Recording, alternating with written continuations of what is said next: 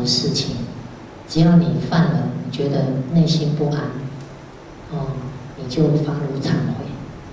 脸书还有一个方便，就是你可以用假名，最好是用真名啊，业障消得更快。哦，我们的业障啊有多重？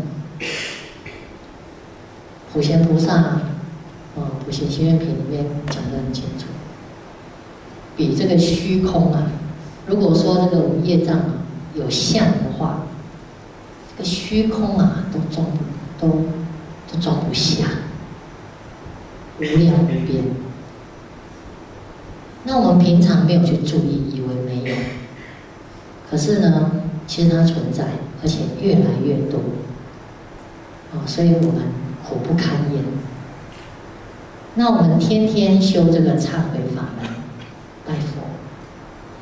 一方面呢，发怒，把自己内心的这些垃圾，啊，污秽的东西，造恶的事情，把它揭拿出来。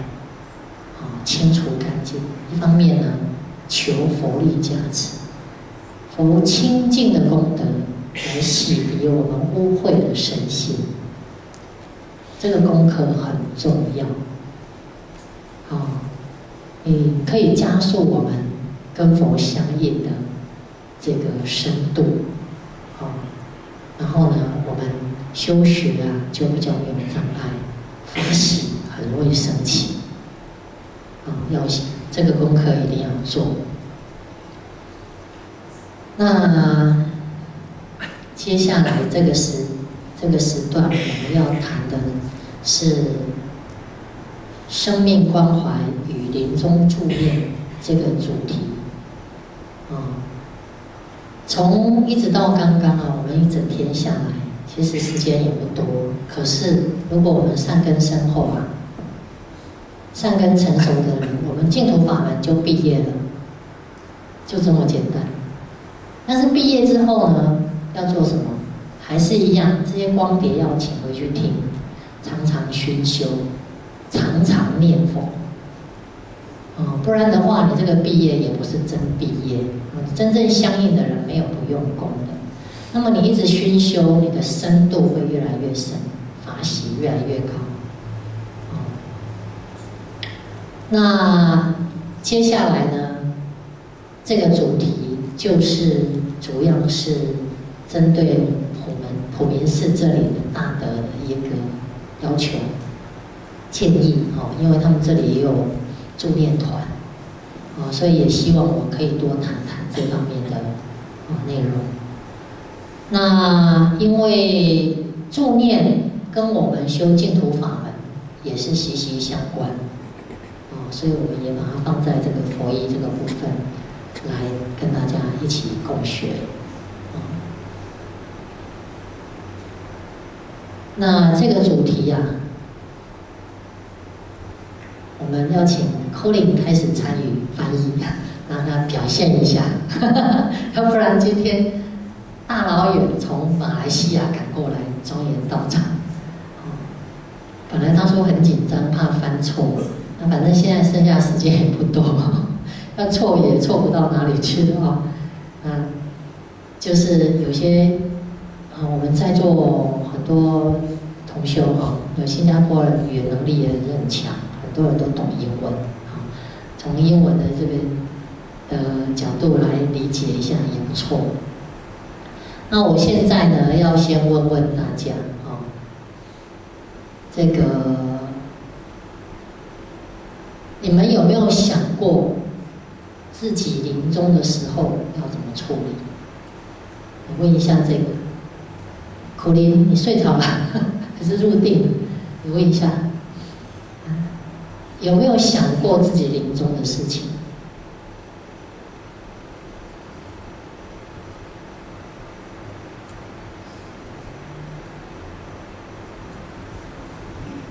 麦克风有没有声音？那个维罗的麦克风给他啊。Hello，Have you ever thought about the final moments of your life. 啊，讲完了，我听不懂，可以讲慢一点啊，慢一点。你是不是很紧张？会吗？会。OK 了。刚开始都是这样。老外哦，很幽默的哦，他们每次。一上台演讲，第一句话就会告诉大众：“我现在很紧张。”那讲完以后，他就不紧张了。哦，这是很好的一个方法。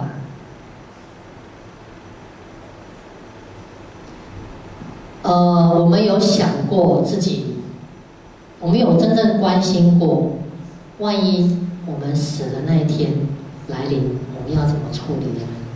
请举手。果然不出我所料，太少了，太危险了。你们要知道，棺材不是装老人的，是装什么人？死人啊！那小孩会不会死啊？会呀。那我们会不会死啊？会呀。那要死去哪里？要死到哪里去？去极乐世界就不会死了，那是活着去的。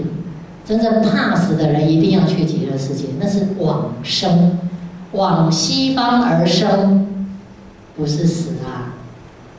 如果不去啊，那是唯一的一条生路，不去我们就死定了。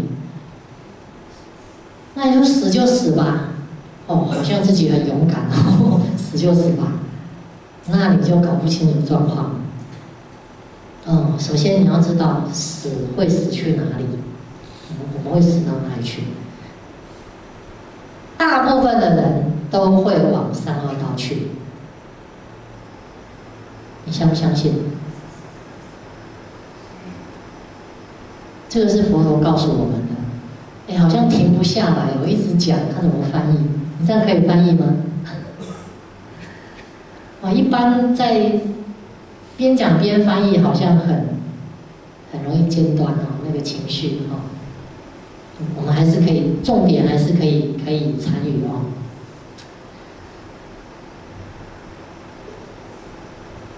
你现在要翻译吗？可以翻吗？刚刚那一段？OK 了，好，那给你一个小时够不够？Death can come anytime,？But where we will go when we die? If we, are, if we do not go to the pure land, then we really have a lot of problems.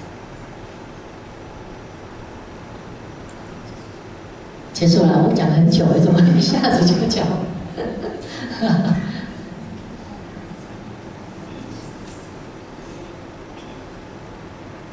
呃，我们知道哈，民间信仰哈，人死了都会怎么样？拜卡威佛，好不好？就用饭啊放在他的脚底那边哦，要给给他吃，然后会烧一些纸钱，烧一些金元宝、房子。现在还有人烧信用卡，还有烧银行，哇，对不对？这个代表什么？代表我们大多数的人，没有学佛的人哦，都认为人死了会去哪里？做鬼啊，好恐怖！因为烧嘛，烧到烧纸钱去，就是到鬼道去嘛。那你你不死去哪里还不行哦，不然那些钱用不到。好像就认定是这个样子。那去轨道好不好玩啊？鬼鬼是很可怜，很可怜的，非常可怜的，有恶鬼，你看整天吃不饱，哦，然后住的阴阴暗暗的。鬼道是怎么样？鬼道在佛经里面讲，它跟我们这个世界一样真实。那一般众生啊，个子很小，啊福报更差，个子很小，然后呢？它的天空是灰暗的。你看苏联啊，苏联也是一天到晚，一年四季当大多数时候都是阴阴暗暗，那也是不好的天气。好，我们如果生活在天天下雨、雾蒙蒙的那种环境当中，心情会好吗？不好。哦，而且整天担心受怕。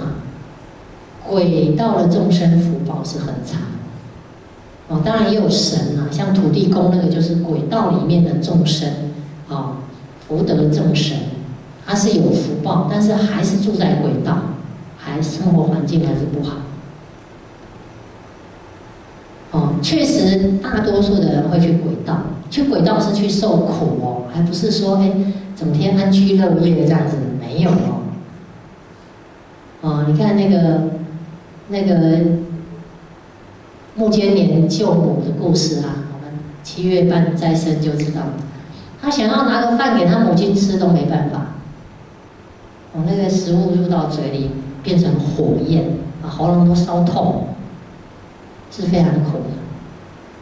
但确实大多数人都会去那里。那还有一部分人会去哪里？当畜生，刀兵劫，整天杀来杀去的。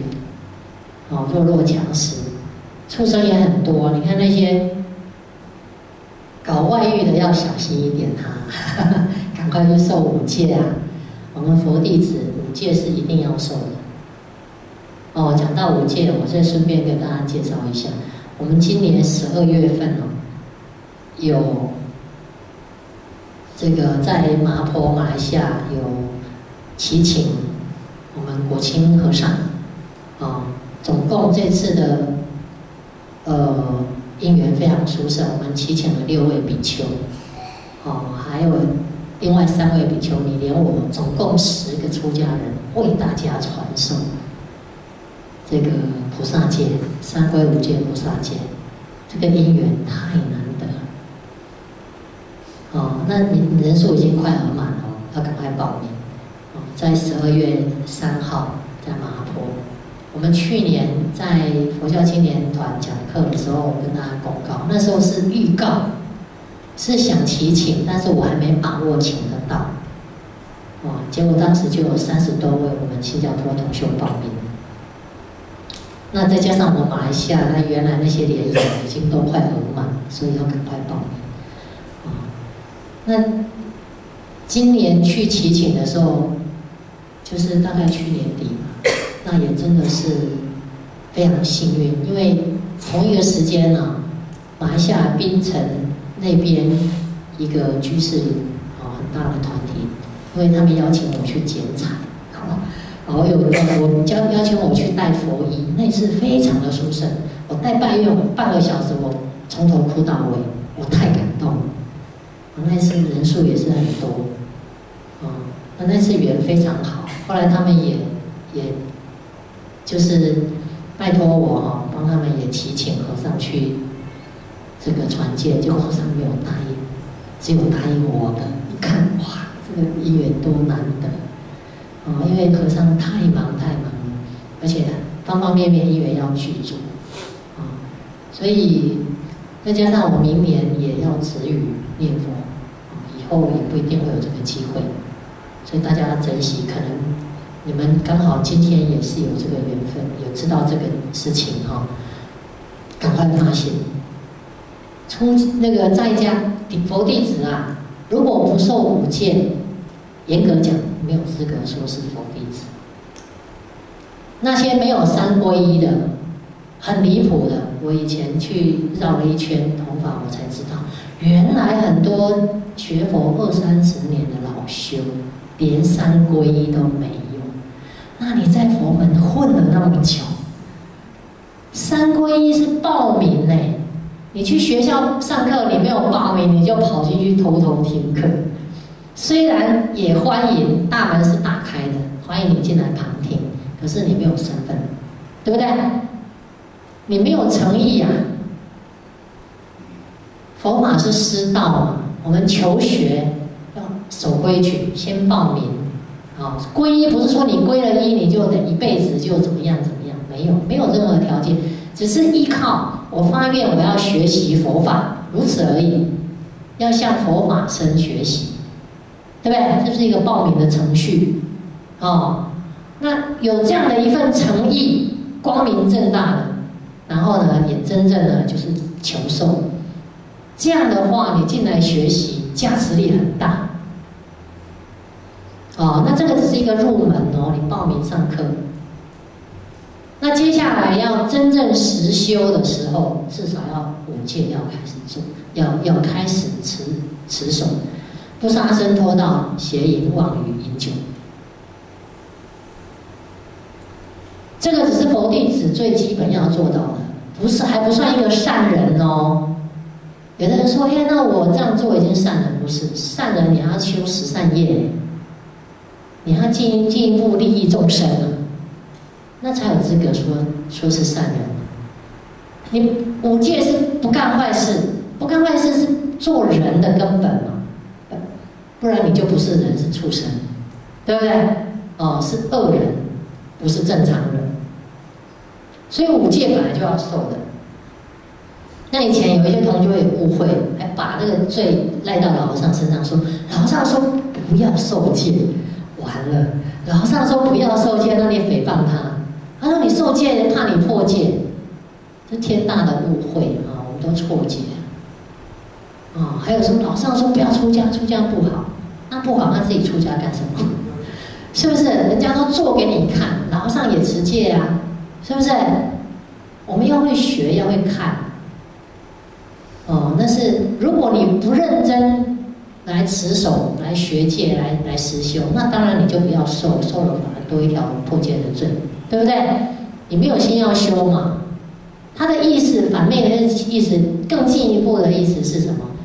是劝你希望好好，希望你好好认真学持、修行、实修，这才对嘛？这才是真正的本意，我们不要误解。所以你看，现在老上也。护护持我们国清律师嘛，对不对？海内外啊，啊，还还亲自请到澳洲建中学院教常住中学戒法，还有居士大德同修一起学戒法，这不都证明了吗？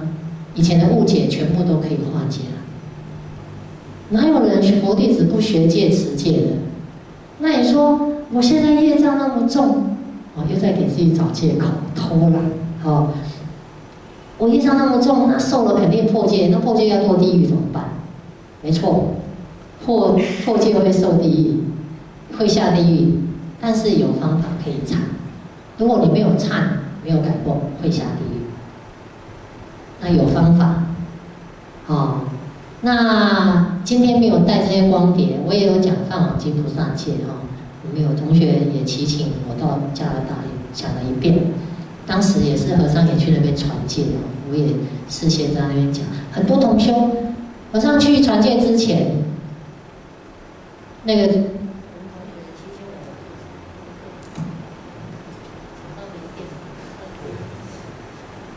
我的电太强了。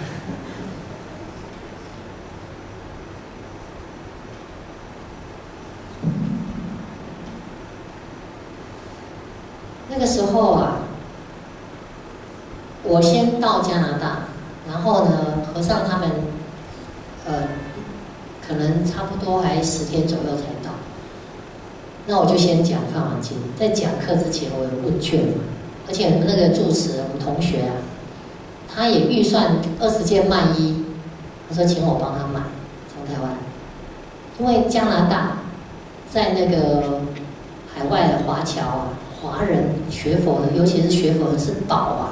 他说以一当百，哇，意思就是参与的人很少，学佛的很少，所以他这预算大概就二十个人受戒。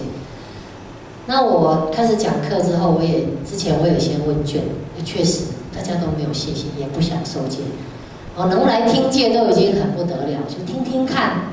哦，还不是说哎呀，我已经决定要受戒，然后我来学戒，不是。后来。整部这个菩萨戒讲完之后，放网戒菩萨戒讲完之后，一直到传戒那一天，不知道从哪里冒出来一百多人，他们那里从来没有这么多人过，一百多人。所以你看，这个这个 case 让我们了解一件事情，就是只要你认识戒法，你知道这个戒怎么去受持，怎么忏悔。你就会有信心去受、去求受，任何人都做得到。啊，那我们会害怕，我们不敢受，都是我们那些想法，都是我们自己想的，不是真的。哦，破戒一定下地狱，一定怎么样？好，你去学，知道的方法怎么去忏，那个好处很多，功德很大。不然的话，佛陀不会劝我们要教我们这个戒法，劝我们要求受戒。好，那现在因为时间不多，我就不多谈。我们讲助念这个主题。好，那你们先去报名，啊，然后呢也有一个候补的名额，哈，你可以先去报名。到时候呢，你看古德啊，在参访善知识，那个跋山涉水，走路行脚两三年，就为了亲近善知识。你现在搭个飞机，开个车三四个小时就到麻坡了。哦，要有这个精神。我们付出的越多，越精进啊，越有诚意学佛修行，我们感得的果报越殊胜，哦，绝对不会白费。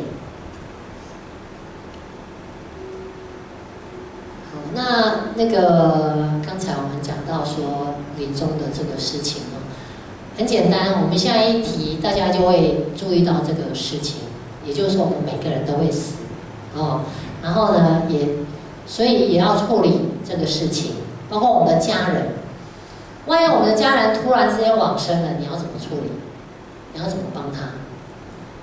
你不可能说管他去死，到时候再看，到时候看就来不及了，哦。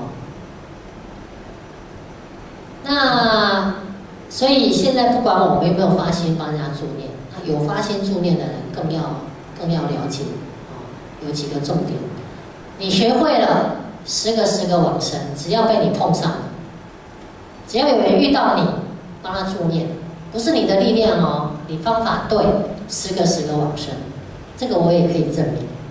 哦，光点里面有讲，但是我现在没时间说，真的可以十个十个往生。十个十个身体柔软，面相安详。哦，那如果你观念方法没有掌握到，你帮人家助念，助念人也很辛苦，怎么念都念不走，念得很辛苦，然后往生断气以后还是很难看。十个可能难得一两个往生，有差别这么大。那关键在哪里？也很简单。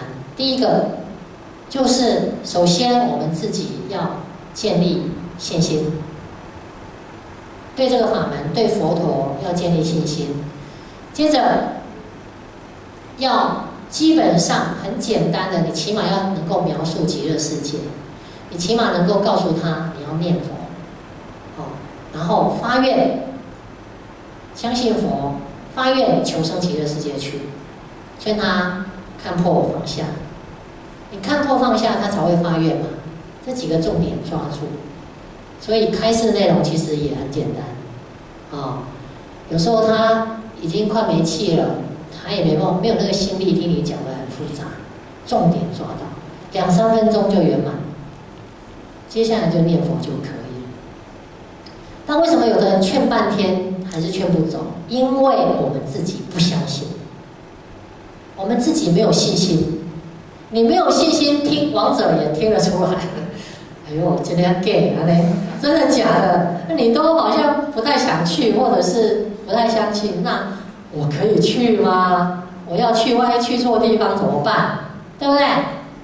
这很简单，你不要把它想那么难。王者怎么样去怎样？王者也是人嘛，我们将心比心嘛，对不对？一个人跟你讲话，劝你。如果他很有信心，你是不是三两下就听他的？只要听了就 OK 了嘛，然后就发愿，不管念得出来念不出来，内心当中有愿力，佛就会来，这样就解决了。哦，功法不等级就是这样子而已，就这么简单。哦，所以只要你再来一个真诚心嘛，你要有那个心，你不要说我在做业绩。哦，我要多劝几个人，这样我以后福报很大等等。那这样那个诚意也是不够，不容易感动人。你如果有那个诚意，然后你又对这个法有十足的信心，自己往生都有信心，绝对相信，只要你发愿，一定佛一定来接。不管你是你你临终时候多多么凄惨，业障多重，佛通通都要救，一个都不漏，就怕你不发愿。哦，然后你要让对方感觉说你是真的很诚恳、无条件的。我只是为了报佛恩，我只是因为我跟你有缘，所以我希望你可以解脱、离苦得乐，给他这种感受，觉得你是他的亲人一样，甚至于比他亲人还亲。哦，我们本来就是一家人，整个宇宙是法界是一体的，这个道理很深，我们不明白。但是事实，哦，我们学佛的这种慈悲，佛菩萨对我们无条件。我们现在得到利益了，我们要感恩，给再多钱，佛菩萨也不需要，他钱比我们还多。那我们要怎么报答他？就是替佛招生，替佛度众生。好，因为这个缘故，所以我很愿意无条件的，只要跟我有缘，我愿意帮助你，劝你。到极乐世界去，真的可以解脱。我真的愿意帮助你离苦得乐。这种态度，呃，不用讲这么多，就是感受，让他感受到你的诚恳。很多同修掌握到以后，他第一次帮人家助念就很成功。哦，连家属都给他度了，家属都很感动啊。哦，你看，有时候我们人哦，真的是凡夫众生自私自利啊。自己那么亲的人死的时候，他连靠近他都不敢，对不对？躺在客厅或是在那个医院都不太想去亲近他，会怕尸体，怕死人那个样子很难看，带又耍掉，好都有，对不对？自己亲人都这样子。是多可悲！可是你要想想看，我们自己也会死，难道你愿意别人将来你自己自己这样，你的家人朋友这样对待你吗？是不是？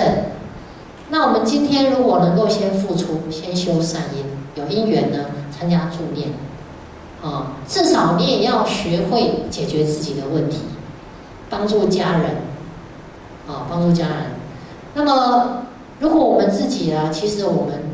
真正建立往生，其实也不需要人助念，哦，可是你要先建立往生的信心，没有人助念也不怕，哦，那么建立往生信心之后，知道这个法门的修法，你就可以帮助你的家人朋友，哦，进一步有因缘呢，就去多修一些福，哦，结善缘，助念呢是我们念佛人修福最好的方法。哦比你捐钱更好，当然这不抵触了啊。不同的因果都需要啊，善因都尽量有能力都尽量修。好，所以这个部分呢，这个关键要掌握住。那么去助念的时候啊，开始的时间不要太长。好，就是刚刚讲这个重点，哦，一定要。让他感受到，你要去注意他的反应。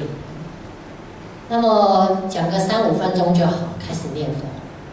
念佛呢，我们也要学会念佛。今天整个上午整天就是在教大家怎么念佛，用什么样的心情，完全没有压力，很轻松，很感恩，很享受，很平和，很平常心，没有目的，就是这样老实念，这种磁场就会出来。然后。佛的功德力当下就会放光，就会展现。所以你只要开始三五分钟，开始用这种正确的方法去念佛，那个佛号就会加持这个王者。啊，然后你再观察，哎，有的人他马上就相应了，还有人会跟着念的哦。哦，躺在那里也会跟着你跟着你念佛的都会。那如果再不行，哦，有的人他刚学佛。或说还没有听过佛法，那你就再过个二十分钟，十分钟、二十分钟、半小时，再给他开始一下。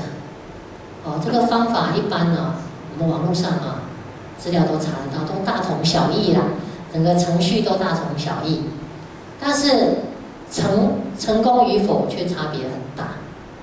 哦，关键就是我们刚刚讲的，我们这个用心，我们要诚恳，然后自己要先学。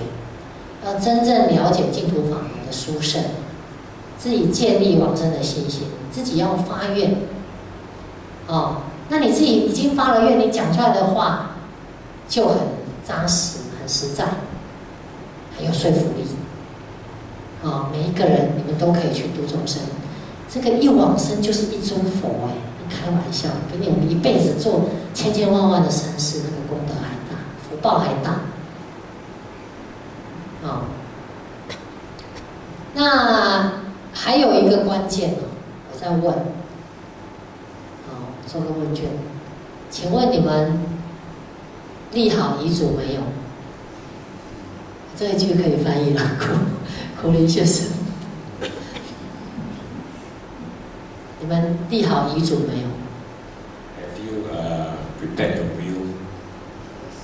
Have you done that? 立好遗嘱的请举手，啊，我也要举手，我很早就立好了，很少哎，你看多惨！我今天如果没来，你们就惨。如果你知道这个姻缘是百千万劫难遭遇，你就知道今天这这个法会有多可贵，可以救你一命，也可以让你一生成佛。那你如果觉得啊，来看看啊，看法师讲经讲的好不好啊，讲的怎么样啊？哦，来吹吹冷气啊，那你得到的利益就很小。为什么要问这个嘞？因为啊，这个这件事情啊，是障碍我们往生很大的因素。啊，我们众生啊，对钱财、对亲情、爱情，这个执着是我们自己没办法想象得到的。啊，光是钱财就好了。现在要舍，都舍得很心不甘情不愿的，有的舍，有时候舍了还后悔了，对不对？自己去检视一下。这个就是兼贪的习性。我们在我们在脸书上教学都没有收费，我流通法宝也没有放化作化波账号。哦，大家想要护持还很难呢，还要透过管道，还要经过我们认可才可以。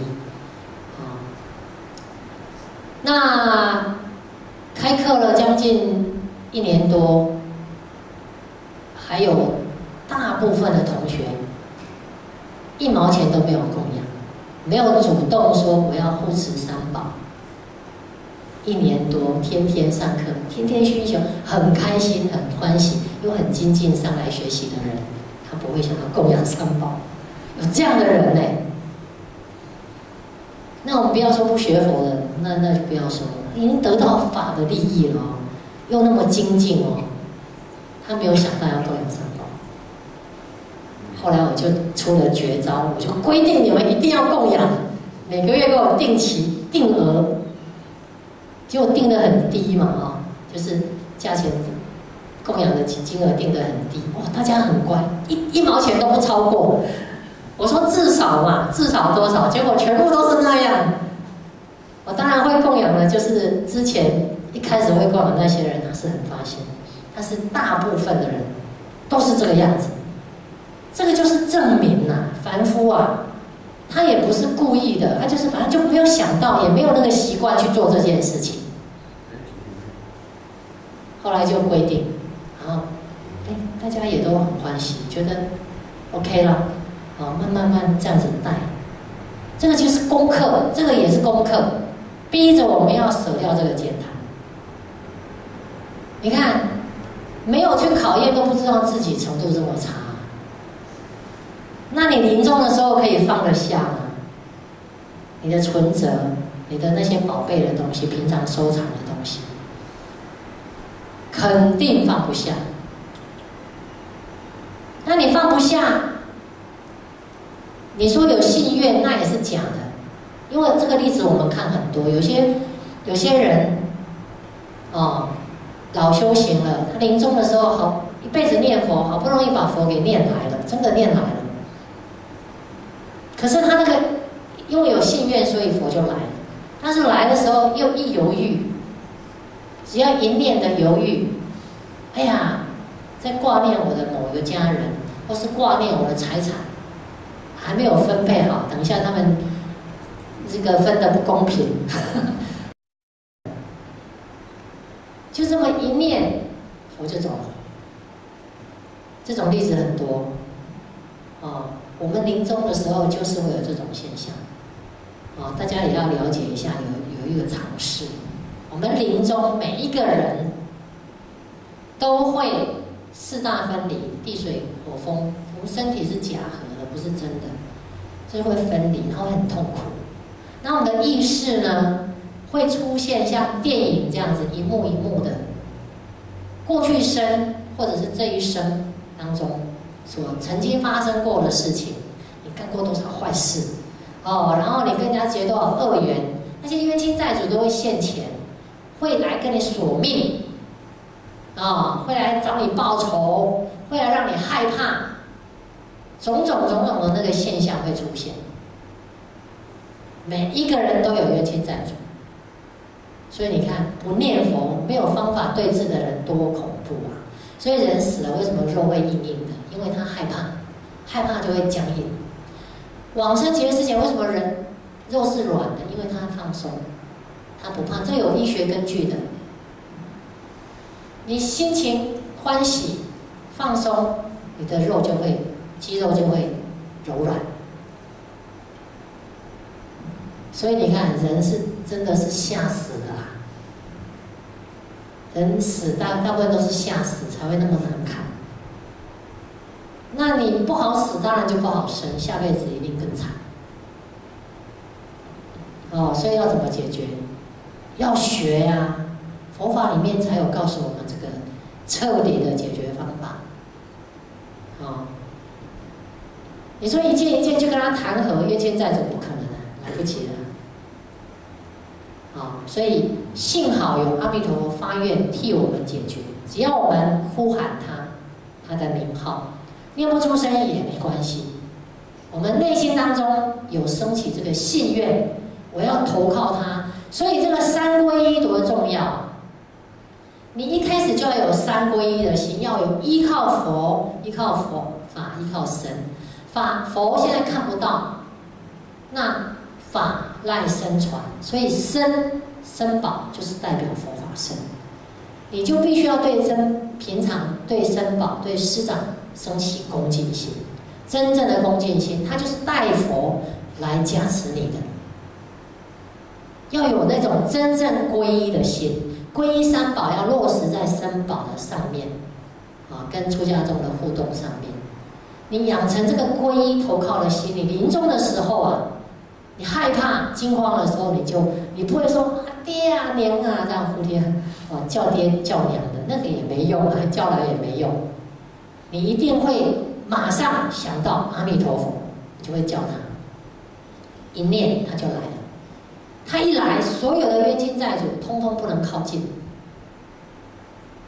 哦，这个都有例子，我现在没有时间举例啊。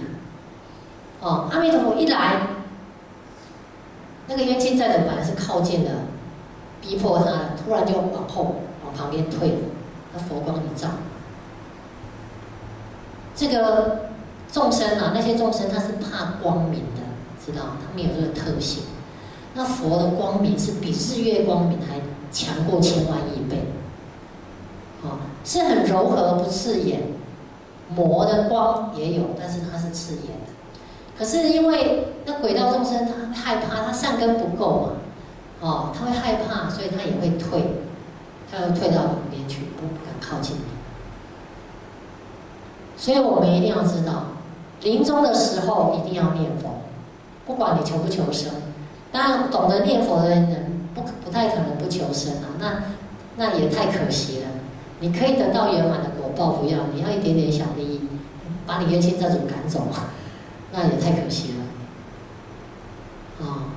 所以临终的时候，这些状况我们都要知道，一定会碰到，哦。然后最简单、最圆满的方法，就是称念佛号，求佛来救度我们，皈依他，我们投靠他，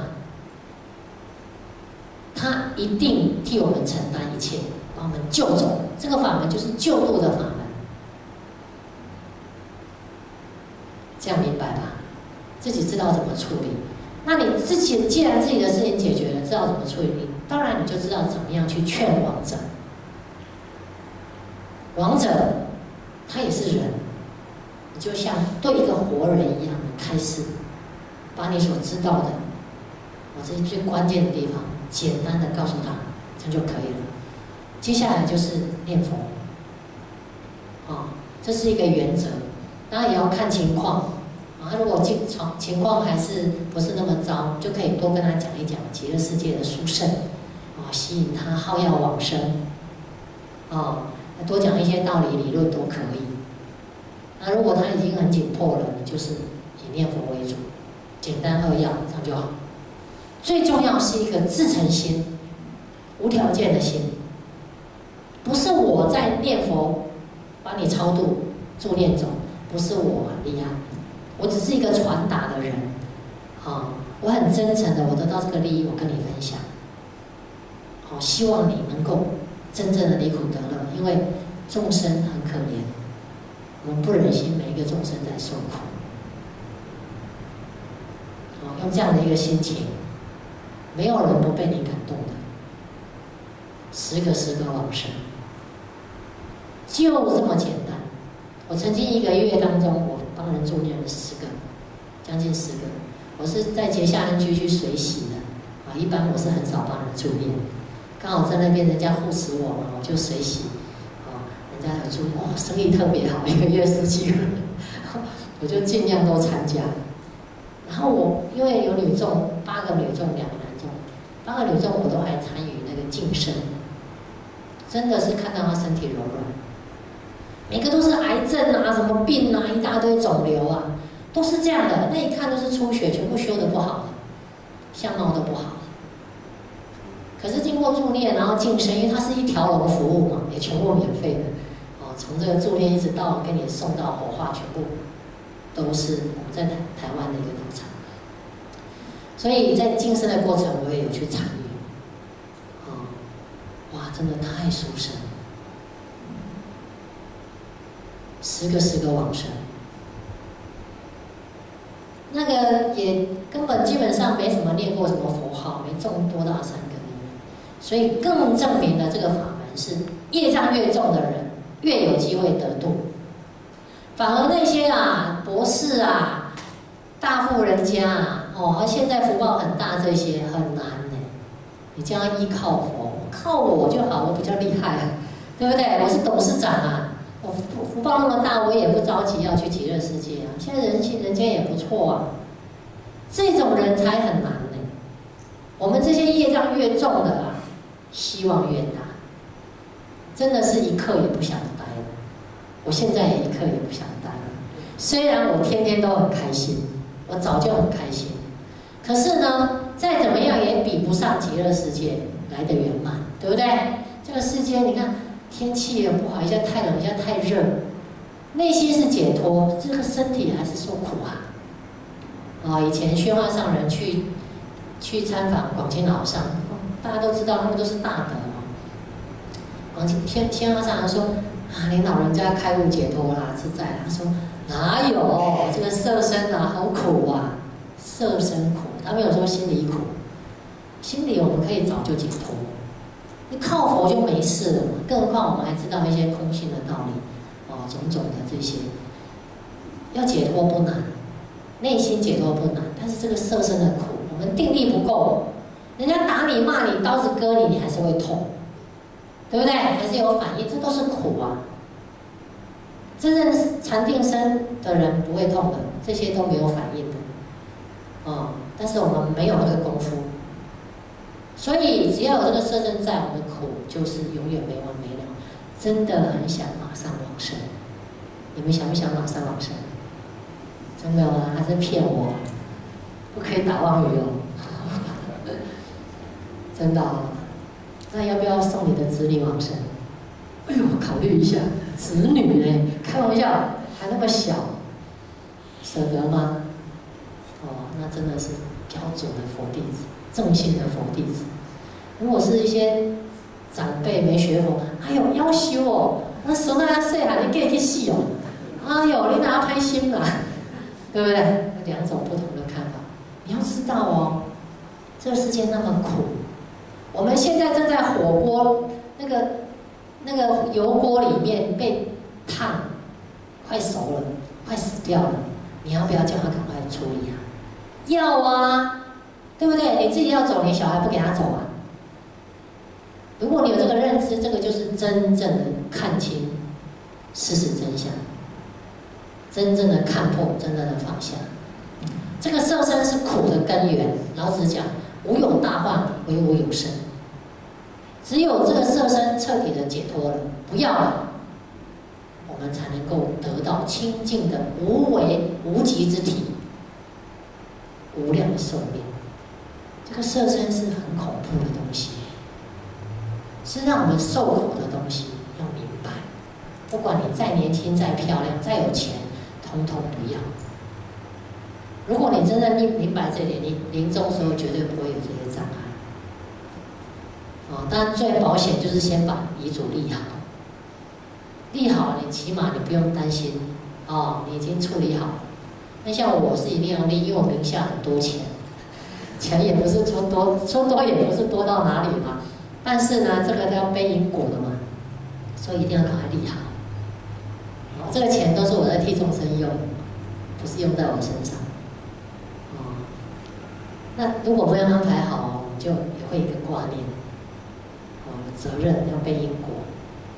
那自己的钱，哦，那更是坚，更是很难放下。坚贪不舍，这是我们的习气哦。不要看我们自己平常好像常常做布施，那是小钱大钱你就舍不下。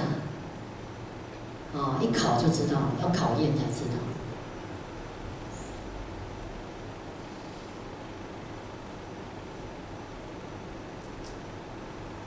好，那遗嘱要怎么立？也可以给大家做一个思维的方向。啊最好是能够留得给子孙，不要留钱，钱适当就可以，也不要让他苦哈哈，你肯定舍不得，哦。但是就算你都不留钱给他，他也死不了。儿孙自有儿孙福，他上辈子有他修的因，他这辈子有，有他的福报，你也不用担心。但是真的担心，留一点也可以。大部分的钱要把它拿去什么做？善事，修这个善因，下辈子你的子孙也用得到，或者是你自己也用得到，不是下辈子你自己用得到，或者是你现在这辈子你的子孙也会托你的福用到，这个才是真正聪明。那这个善事要去哪里做？当然在佛门里面做是最殊胜的。这个不是自家人讲自家话哈，我们不需要机会，该讲的就是要讲。因为佛门里面舍一得万报，你捐给三宝的钱，他会把你辗转，再去利益更多的众生。出家人受用是最节省，一天吃两餐，衣服吃穿十几年，好，我们用的很少。所有的这个开销，通通都是在办道，不是供养出家众办道，就是弘法利生。这些钱。来自于施主，这做的事情功德福报，施主可以享用，替你们辗转去做累积，就像你玩股票，你买买到一只绩优股，你就哇一下就涨停板，哦，没有投资比这个更大。那你拿去做世世间的慈善也可以，但是可能就涨个两三倍而已。没有舍一的万报，这个万报是无量的意思，不是一万倍，是无量倍，明白吗？好，要这样子做。好，如果是我，我也是会这样子做。当然，我们没有私有财产。好，我你们给我的供养，我通通都舍给常住，我们自己也要吃，不捉襟。现在碰钱是开源，但是我们也有持这条件，我们不积自己的财。啊，只是替你们辗转来做这些事情，你们自己不知道怎么去做啊。有时候乱供养，有时候会供养到不好的地方，好，这样也是很麻烦。这个是一个，我们做了我们佛弟子，又有义务要护持三宝，这个也是义务嘛。那同时又为自己修福，那不是很好？啊，要这样才对。你看《地藏经》，地藏菩萨他他母亲往生之后。也是这样替他处理，把他的家产卖掉，啊，拿去供养三宝，替他积功累德，他很快就可以升天，到天上去享福。那个天上的福报比人人间大太多了。如果你没有听到这一段，我们一般人就想，那肯定是自己，包括你要出家也是一样，那钱要舍掉，我们要持戒嘛，就想那一定先先。先把钱交给家人，自己人嘛，家人才是自己人嘛，对不对？这个都是兼贪的习气在作祟，哦，不明白这个因果，你给他他就造业花掉了，他也不会拿去修福嘛，是不是？你拿留一大堆钱给子孙，就养出一些败家子，然后将来呢自己没有求生的能力，当钱花完了，哎去偷去去抢。是不是？哦，要要会打算，这才是真的有智慧的人。哦，好，那现在时间啊，我们啊已经。五点了哦，很快，时间过得很快。今天讲的这些哈，这些关于助念、助念还有临终助念跟平时的这个我们讲生命关怀，就是临终之前在生病的那一段时间，这个时候我们开始做助念的前行也是最好。我们平常也先去跟他打好关系，哦，常常去探视老人，这个也是属于助念的一部分，哦。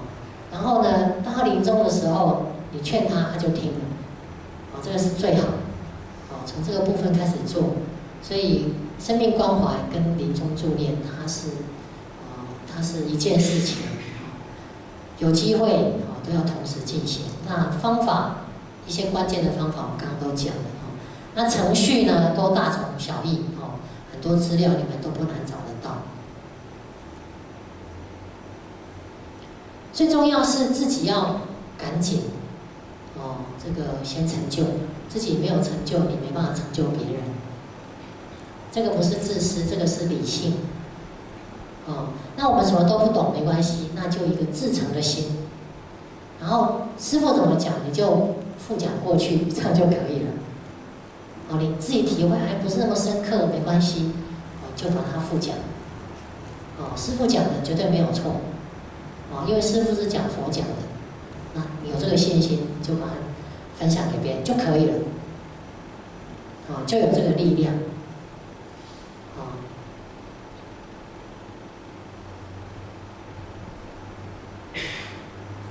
好，那要不要提问问题啊？现在时间是超过了，有没有问题要问的？没有，没有，哇，你们全部都圆满了哦，不错，还有，好好，可以提问，麦克风给他，超过一点点时间没关系了哦，我们可能要来生再见了，哦，所以再把握这个姻缘啊，我们可以提提问几个问题。任何问题都可以问，啊，不要我们私人的事情就好。出家人的戒律也不谈私事的哦。那平常大家相处也不要谈论私事哦，同参之间。好，请说。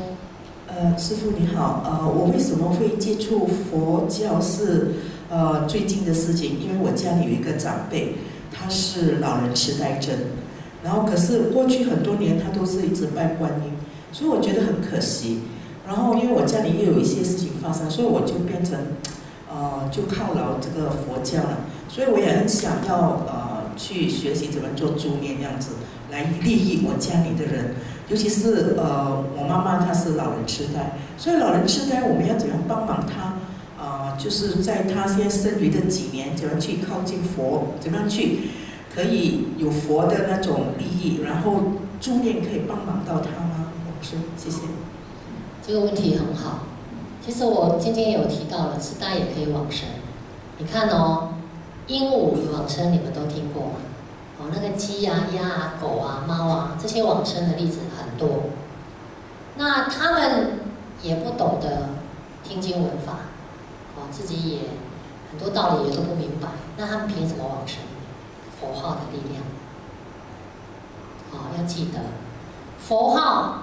阿弥陀佛这个名号跟我们的名字不一样，我们的名字是业障身，阿弥陀名号是实相身，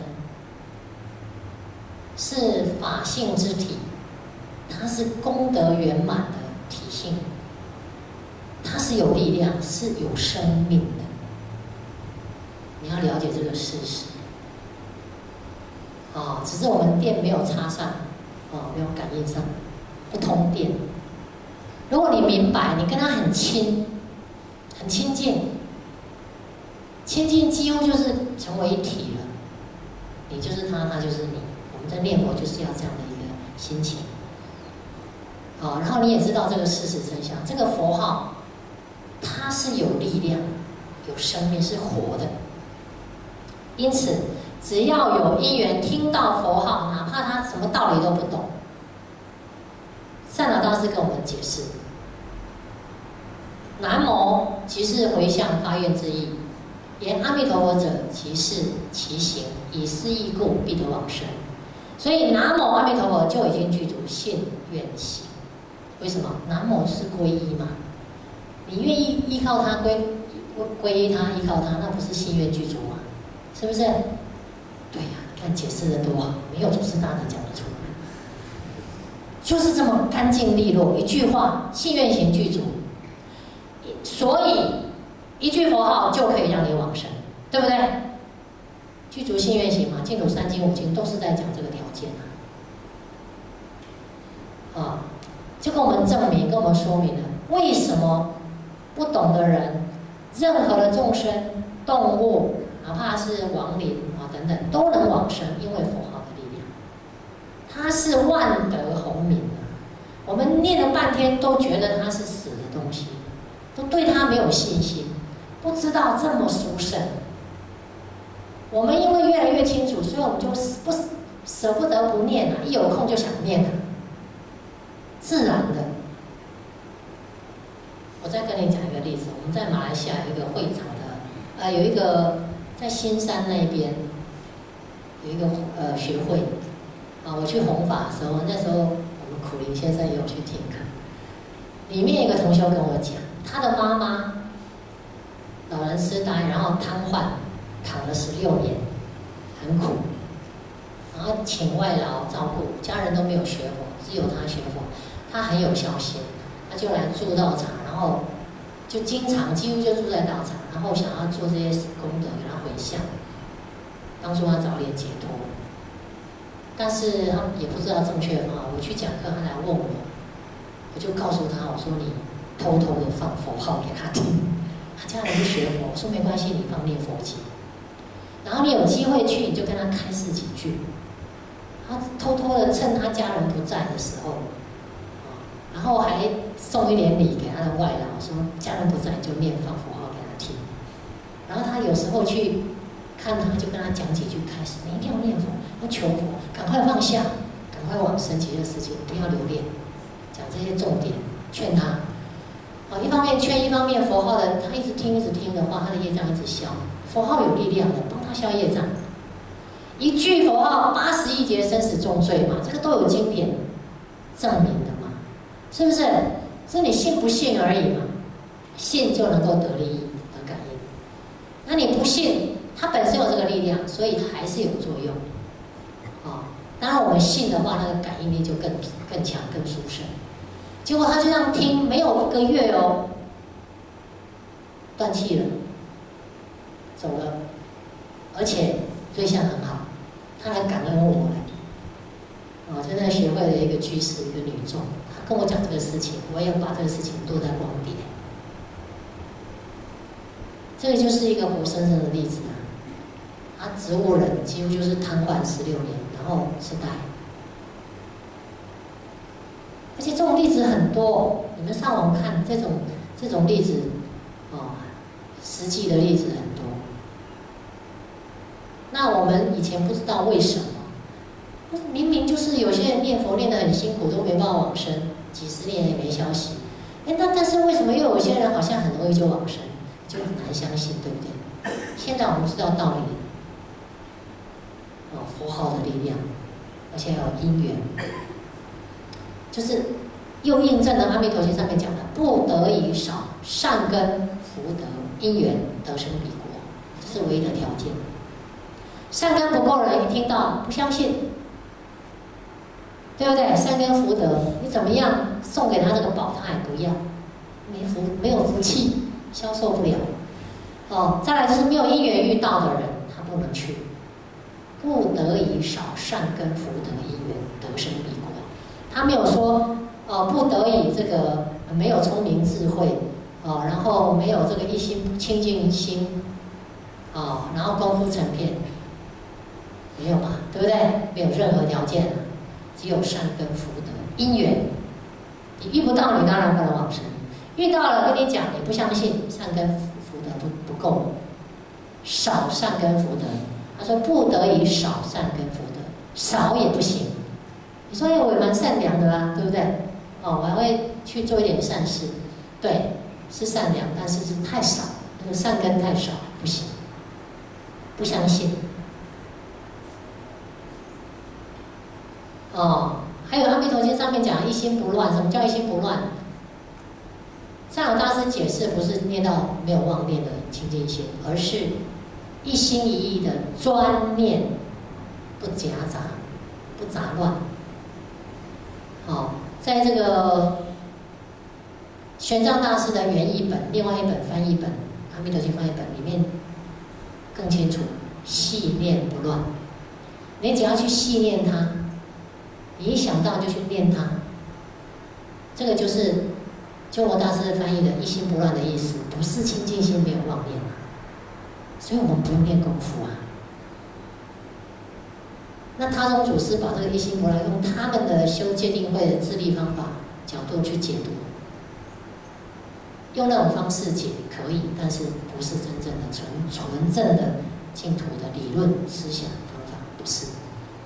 你看萨尔巴斯跟我们讲的方方面面都很通达，没有疑惑的，都合情合理。我以前专修十二年，前十二年我是越学越糊涂。很越来越很多疑惑，奇怪，他念佛念到那个样子，几十年怎么没消息啊？好难哦！我自己念也是没消息，哦，然后哎，为什么奇怪？有一些人怎么一下这个又往生，一下那个又往生，到底可不可信啊？对不对？就是很迷糊的，因为学的东西越多，资料越多，那反而不知道什么是真，就是会变成这样子，好。所以还是要靠我们善根。好，再一个问题。好，这比较快。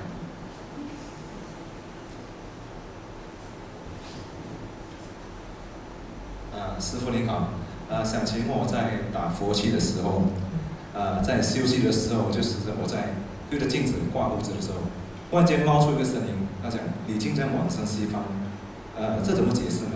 你已经什么？李金生往生西方，叫我名字。李金生往生西方。李金生，我的名字。李金生往生西方。你的名字叫李金生，那叫熟了没？李金生，然后往生西方。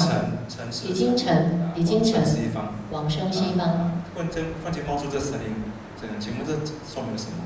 是你感觉是外来的声音，还是你心里面生出？其实是心里的声音。心里的声音。又说不出是是自己声音。其实这是好事啊。好，请坐。所有的现象，通通都不要挂在心上。老师的眼睛告诉我们，更何况这个内容是很好、很吉祥的。哦，要么就是鼓励你，要么就是劝你，要么就是给你印证，你可以往生，都是好事，对不对？这样子就是正确答案。你不要再去想什么才是真正的正确答案，这个就是正确答案。哦，我们要记得，我们所有的思维都要跟佛经去相应、去对照，而且要跟正面的去相应，不要往负面的去解读。那肯定是错的，肯定是没有好好事的。啊，所以这个现象就说明，不是跟你有缘的众生，就是佛菩萨在加持啊。我们自己的体内也有很多众生住着，你不知道。好。像那个加罗加村者，他不是医了一个那个就是乌达国师，好那个看公案吗？他那个脚痛到那个样子，就是很多他因为在就住在那里啊，是不是？很多我们体内很多众生呢，可能他也会告诉你，你在念佛，你在修行，他很开心，哦，他跟你随喜一句，啊，劝你一句，或者是佛菩萨来加持你，都有可能，这是很好的事。啊啊，这一位就是今生要往生，大家可以多往来啊，亲近善知识。啊，正面的磁场，我们大家互相加持。啊，那负面的思想，我们通通不要听。啊，也劝他。我们常常讲好话，老上我们说好话，存好心，做好，对不对？所有正面的东西我们吸收，负面的要排除。像我们的平台很清净。平台里面很多，我们脸书上平台到处到处都是在打舌战，哦，斗来斗去的。我们平台三年来都是很清净的，没有机会让你留一些不好的话，会劝你不听，马上给你拜拜送你走，你不可以来我们这里，我很严格。所以很快的，大家都很乖，然后来的人都很很有礼貌，很恭敬，啊，很受益，很亲近的一个平台。我们修行也是这样，我们在家，在道场，我们都要保持一个清净的磁场，不要去哦，为了说哦，我是为了要找到真理，我要去跟你辩啊，或者说我要为你好，所以我要强迫你怎样，散发出不好的磁场，不可以，这个都是错的。你的理由再好，都是错的，因为你没有智慧，方法错误。好，这样明白吗？好。那时间超过了啊，有一点依依不舍啊，那没有关系，反正呢，呃，时间也是假象，哦，一眨眼啊，无常随时在上演，哦，有时候因缘说生就生，说灭就灭，灭了也可以再生，哦，就是这样的无常变化。那我们只要当把握当下每一个因缘，就圆满，刹那就是永恒嘛。哦，我们真正有去把握住当下，我们在当下得到利益，那那个当下就是永恒，就是圆满的。好，那我们今天呢就学习到这里，这个安乐佛音呢就到这里圆满告一个段落，说不定下一场哦不，下一场我刚刚没有介绍到哈。我们十一月二十九号在麻坡也有一场安乐佛音，那是最后一场。这里不是最后一场，这里是新加坡的最后一场。五年后姻缘很难讲啊，啊很难讲。我说五年后我如果没往生哦，我们那些同学还没有阵亡的，可以再跟我学法。他马上就有同学留言说：“师傅，我等你。”五年后再看了啊。那现在。十一月二十九号还有一场安乐佛音，这个佛音呢安排在这个时间，就是我们青和尚传戒的前一个礼拜，主要就是要给大家讲戒法，好带大家念佛，然后也讲戒法，好帮助大家呢对这个受戒啊更有信心、更清晰，哦，然后呢在和尚给你传授戒体的时候，你可以感得更亲近、更殊胜，啊，所以这个佛意啊。